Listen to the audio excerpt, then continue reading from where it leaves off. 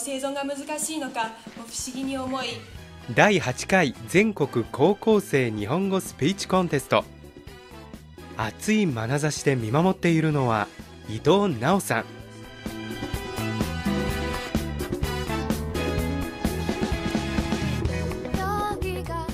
伊藤さんはおよそ10年前に中国の武漢で日本語を教えた経験があります。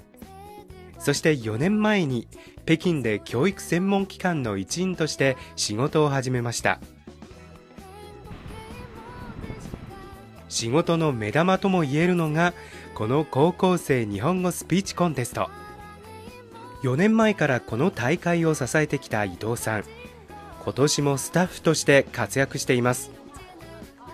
今日はその予選である河北地区大会が天津で行われました。15人の出場者から上位4人が北京で行われる全国決勝大会に進みます。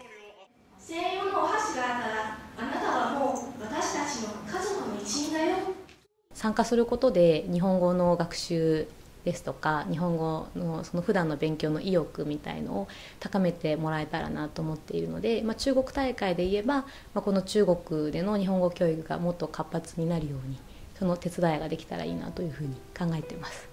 本日スピーチをした皆さん今日のスピーチはどうでしたか？この経験を忘れずにこれから自分の目標に向かって頑張っていってくださいまあ、最初の頃はこうなんていうんですかね表現の仕方とかで、まあ、アニメっぽい感じだったりとかいろいろあったんですけれども発音もそうですし話し方とかも本当にこうネイティブに近いような日本語を話す学生が増えてきたなという印象があります。小学四年级吧，一直是在上课外班，有乐坛中学之后，就直接初中开始学了日语。决赛一定大家实力都特别强，肯定要纠正什么语音语调之类的。对演讲稿也一定要就是认真的去准备。20代はほぼ中国で過ごしたという伊藤さん教育の分野で活躍しながら中国生活も楽しんでいます。お休みのこの日は中国茶の教室に通い充実した休日を過ごしました。さらに BJBJ というバンドではパーカッションを担当しています。まもなく開催されるコンサートに向け毎週日曜日に北京市内のスタジオで練習に励んでいます。すごく充実してますね。まああのそういった街の中もすごく面白いですしあとは今日本にいるとなかなか出会えない人に出会えるので、まあ、日本人でもそうですし他の中国人でも。まあそれ欧米の人たちと少ないんですけどすごく皆さん親切ですね。これは本当に私が中国の一番好きなところでもあるんですけどもあの皆さんこう、ま、街中で全然知らない人同士でもこう急に話し始めたりとかいよいよ決勝大会です。で中にボランティア用に名札を用意してであの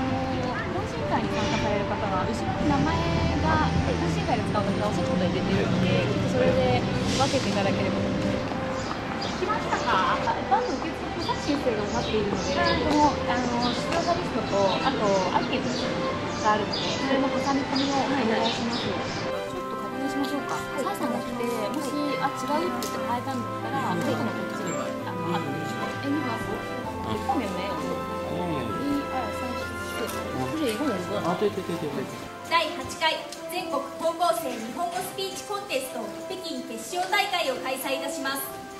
今日は全国各地区大会の上位入賞者20名が全国優勝を目指して競い合います。ここで一等賞に選ばれた高校生は7月に日本で行われる国際大会に招聘されます。皆さん想像してみて。もしあの時時を探す専門家のチームの成立が1年でも遅れたら。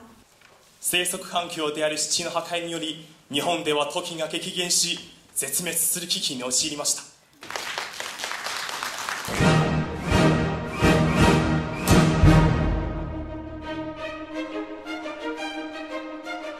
日中友好の関係にも深く理解できました、えー、またはこの大会に参加して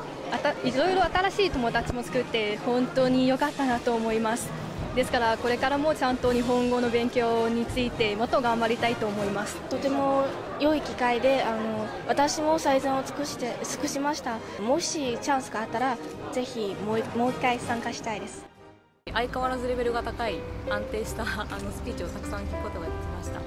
中国が今すごく発展のスピードも速いですけどもそれにこう追いついてその中でどうやって自分が成長していくかっていうのを考えてすごくキラキラしているなっていう印象があります。中国の高校生が一生懸命日本語を勉強している姿っていうのを知ってそういったところをもっと知ってほしいなって。そのために自分が何ができるかっていうのをすごく考えるんですつの国近い国なのでもっとあの交流も深まっていったらいいなと思ってます。中国青少年加油吧！